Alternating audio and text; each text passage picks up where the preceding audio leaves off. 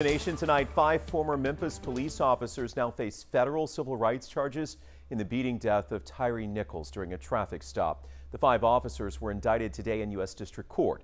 This indictment accuses each of depriving the rights under the color of the law through excessive force and failure to intervene and through deliberate interference. They're also charged with conspiracy to witness tamper and obstruction of justice through witness tampering.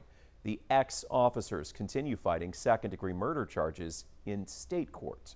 There are new